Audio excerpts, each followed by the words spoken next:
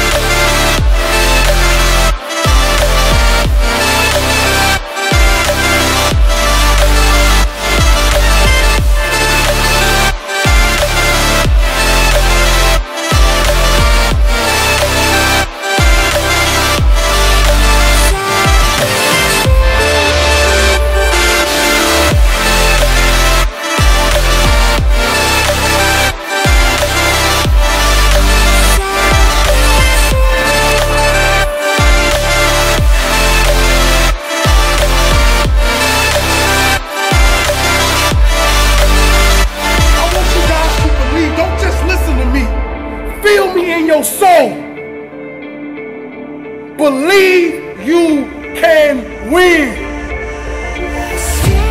Believe.